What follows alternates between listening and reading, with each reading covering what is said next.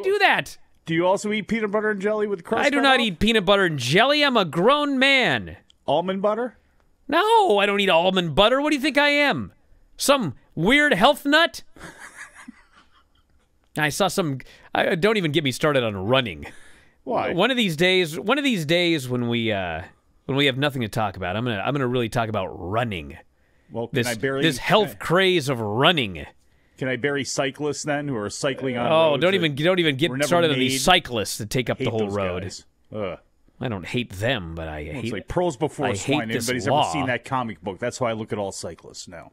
So anyway, let's take a quick look at these shows because that's what people care about. Hmm. Christian versus Kazarian. So there were a bunch of good matches on AEW, and here's is I mean Dave talked about this for like an hour last night, but here's the the 10 second version. There was a bunch of matches that were good on AEW, and there's often a bunch of matches that are good on NXT. On AEW, the good matches are all different. On NXT, the good matches are all the same. And then you have bad matches, which are different because they're bad. So, Christian and Kazarian was a very good match, but it was totally different from another very good match on the show, which was the uh, Lucha Brothers and Laredo Kid versus Kenny Omega and the Good Brothers. Really good match, totally different. And then we had another good match on the show, which was the main event, which was Arcade Anarchy, uh, Miro and Kip Sabian versus Orange and Chuck. Excellent match, also completely different.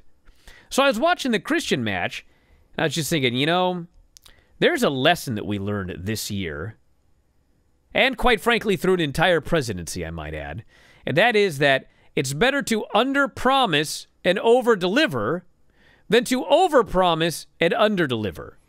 And this Christian fella, he's got a gimmick: outwork everybody.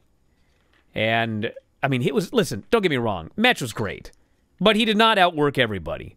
And so, if he had not told me that he was going to outwork everybody, I probably would have been way more impressed with his performance. I was still really impressed, but you, when you overpromise, then you almost inevitably underdeliver. And I don't think that Christian underdelivered. I mean, it was it was pretty much exactly what I expected it to be. So it's a good match, and he won. He's gonna kick your ass. Why? How could you be uh, burying him for his? I didn't bury catchphrase? him. Yes, you did. He said he was going to outwork everybody. Did he outwork everybody on that show last night? well, he started. No, he did not. He didn't get the chance to. He started the show. He They thought he went had- to that 20 point, minutes and kicked out of a bunch of near falls. He had just as much opportunity as anybody. To that point, he was outworking everybody. And you had Frankie Kazarian. You know, if this was if this was in Japan, one, it would have gotten seven stars. But of course, he also would have lost because he was coming back from seven years off, and then the guy comes back from Yeah, seven years off. he did a great job. Oh, But you know what the problem with his catchphrase is, Mike? what's that? Besides overpromise and underdeliver or underpromise and overdeliver? Because there's no one right way to work. So when your That's gimmick true. is that you're going to outwork everybody, what? You're going to outwork Laredo Kid doing all of these crazy high spots? You're going to outwork Miro putting somebody through a whack-a-mole game? Like it's just all different. So it's a weird catchphrase. I'll outwork everybody. You'll outwork them in with headlocks or whatever? I mean, Are he did. taking- are you taking this too literally? No, that's his catchphrase. It's on T-shirts. So uh, you're blaming me? That's his catchphrase on a T-shirt. Now the match was great. Don't get me wrong. Why does everyone have to get mad about it? I'm just telling you. There's no right. There's no one right way to work. Hey, that's how you picking nits on poor Christian. No, I'm here not the on poor. Christian. I thought he did an excellent who- job. Seven years. You want to see my first match back after seven years? His was ten times better, maybe twenty. I'm not burying the guy. We don't. We don't need to see that. Did he outwork the Legos?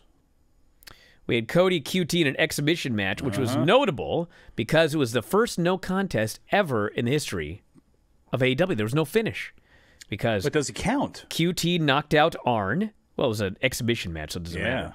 He knocked out Arn, and then his diabolical crew of students, Aaron Solo, Anthony Ogogo, and Nick Comoroto, three bad dudes, beat up all the baby faces.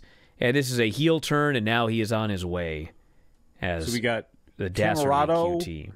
Gogo, and who's the other dude? Solo. Yes. They got to do something with O's at the It end. you not solo, by the way.